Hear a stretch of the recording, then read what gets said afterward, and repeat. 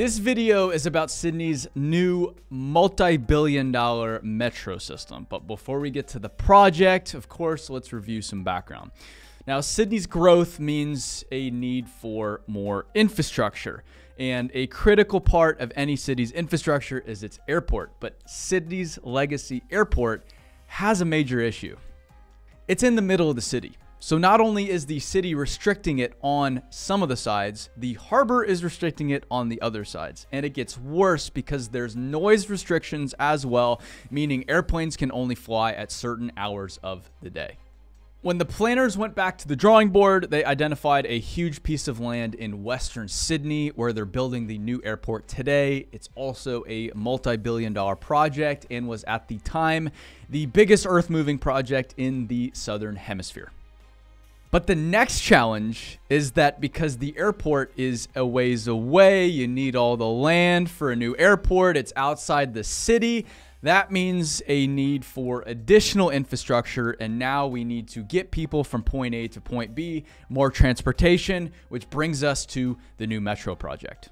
Now, the Sydney Metro project, big picture, is a multi decade undertaking to build over 100 new kilometers of rail underneath Sydney's 5 million residents. Today, we're focused exclusively on the Western Sydney Airport station boxes and tunnels segment. A joint venture between CPB contractors and Ghella is building 9.8 kilometers of twin tunnels and the accompanying stations.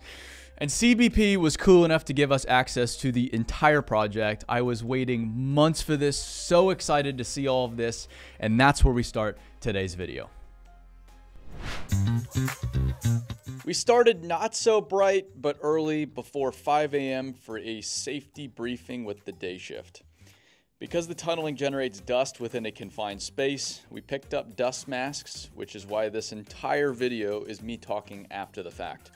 Briefing complete, it was time to head straight for the tunnel. We descended into the Claremont Meadows portal to track down the tunneling machines making their way through the earth. Before we ventured to the tunnel boring machine, we visited the cross passage work. To dig each, crews use remote control excavators with hammers and other mini excavators and skid steers to remove the earth. Once excavated, they apply shotcrete to keep everything in place while the permanent structure is formed and poured.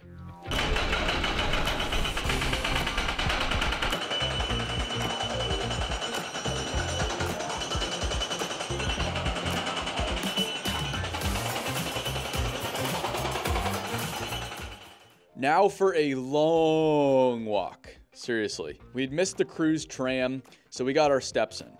And while we walk, I might as well explain how TBMs work. This project has four TBMs in total, manufactured by Herrenknecht. I think I'm saying that right. I don't know. They're named Catherine, Eileen, Marlene, and Peggy. Each machine is massive and requires months of manufacturing, transport, and assembly. Once the crews excavate and build a big enough launch pit, Cranes lower each piece into place where mechanics build the machine before it begins work. Two of these tunneling machines are earth pressure balance machines, or EPBs. EPBs work by applying pressure at the front of the machine, keeping soft earth from collapsing in the tunnel as the machine advances. Thanks to a special corkscrew and soil conditioning foam, the machine extracts the earth while maintaining constant pressure at the head. Only a small percentage of the new Sydney Metro project required these machines to battle soft ground. Okay, we made it. Time to climb onto the machine.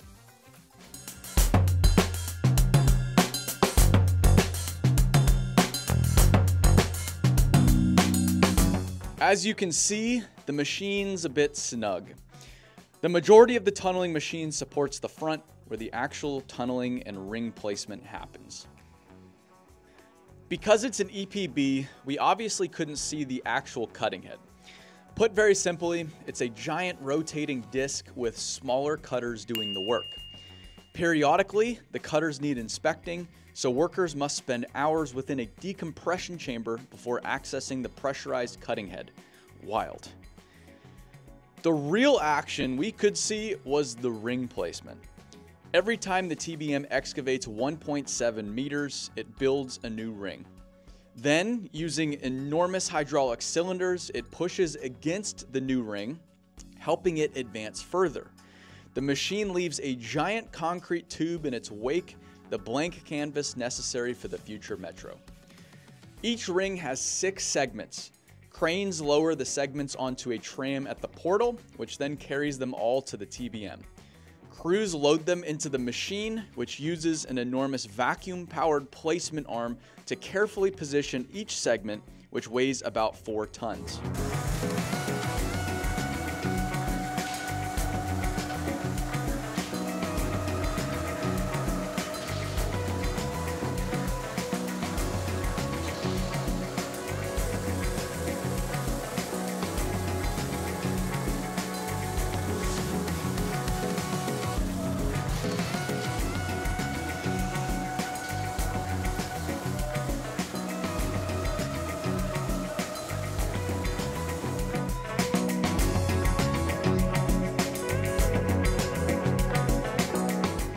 Project has a total of 69,910 of these.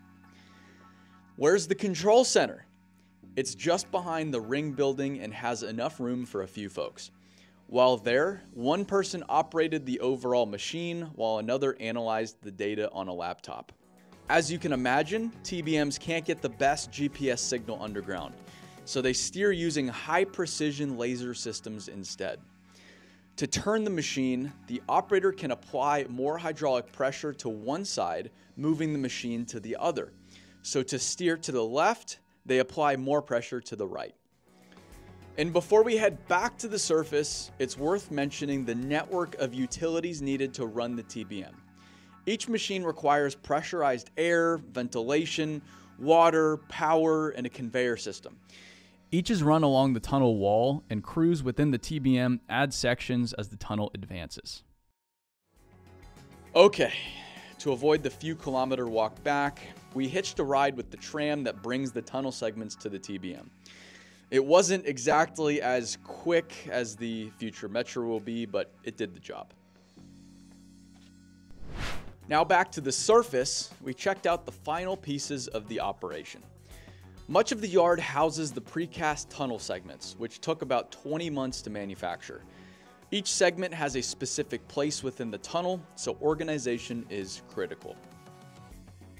Then we have the loadout area, where the material from the tunnel's excavation ends up after a long conveyor ride. It's wet because of the additives used for the EPB process. Trucks haul it off to a well-regulated site to keep the tunneling area tidy. That was a glimpse into the amazing metro project that will take people from the city of Sydney to the brand new airport. Thank you so much to CPB, Ghella, and Sydney Metro for having us out. I hope you enjoyed it as much as I did. Stay dirty.